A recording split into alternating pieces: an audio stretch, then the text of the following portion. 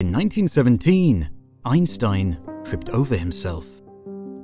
He had just developed general relativity and found numerous applications for it, and so decided to take these newfound equations and use them to describe the entire universe. After all, gravity is the only force that operates at large scales across all objects, and so the language of general relativity should have been more than capable of describing the evolution of the cosmos. Yet what he found surprised him. His equations naturally predicted a dynamic universe, one that was always in motion, with all objects at large scales either collapsing together or expanding away from each other. This went against the conventional wisdom at the time that while planets may orbit and stars may move here and there, the large scale universe was fixed and static for all eternity.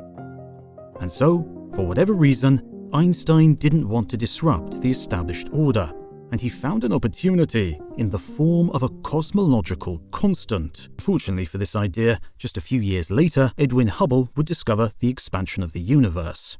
While Einstein never admitted it, in public or in any letter, his closest friends recalled that he would refer to the cosmological constant as his greatest blunder.